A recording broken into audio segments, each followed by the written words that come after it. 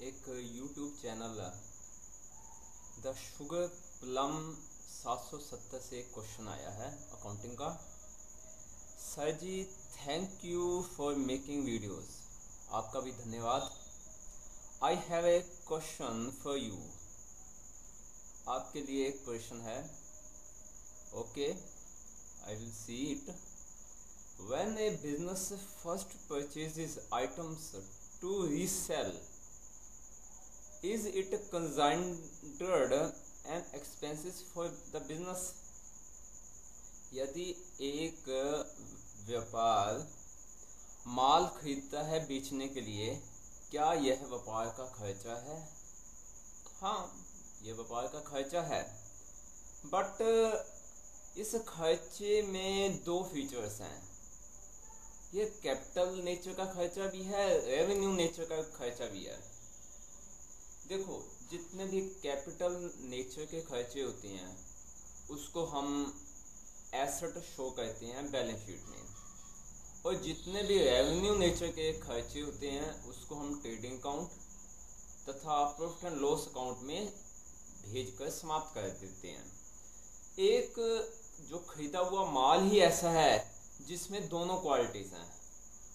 इसमें जो माल सेल कर देते हैं उसकी कॉस्ट हमारा रेवेन्यू एक्सपेंसेस होता है और उसको ट्रेडिंग अकाउंट में हम शो करते हैं डेबिट साइड में।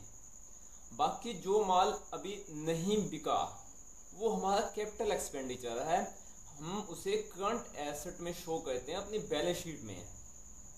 तो आपका जितना जितना माल बिकता जाता है, वह कॉस्ट ऑफ़ प्रोडक्शन बनता जाता है। ताकि आप उसमें से कितना कुल लाभ हुआ, वो जान लें।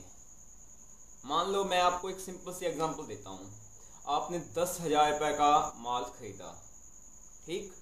उसमें से जो दस हज़ार का, जो पाँच हज़ार का माल आपने बेच दिया, कितने का बेचा? बीस हज़ार का।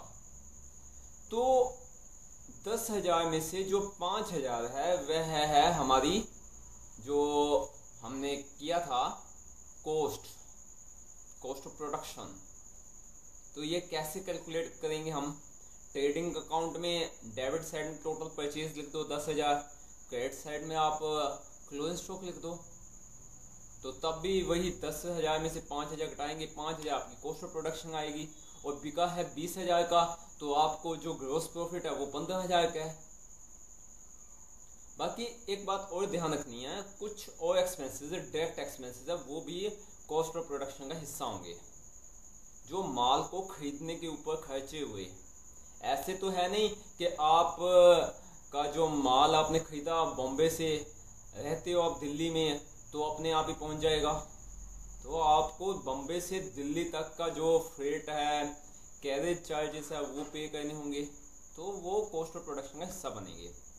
और जो क्लोजिंग स्टॉक है, वो हम उसको दिखाएँगे बैलेंस शीट में। बैलेंस शीट में एक करंट एसेट ताकि वो अगले साल जाए। अगले साल बिक जाएगा। मान लो अगले साल जो पाँच हज़ार वो बिक जाता है तो जो कॉस्ट ऑफ़ प्रोडक्शन होगी, वो पाँच हज़ार होगी। अब हम क्लोजिंग स्टॉक नहीं दिखाएँगे। तो ऐसे सर्कल चलता रहता है। तो इस खर्चे को आप समझिए, तथा अपने ट्रांजेक्शन्स को रिकॉर्ड करने के लिए इसका इस्तेमाल कीजिए। धन्यवाद।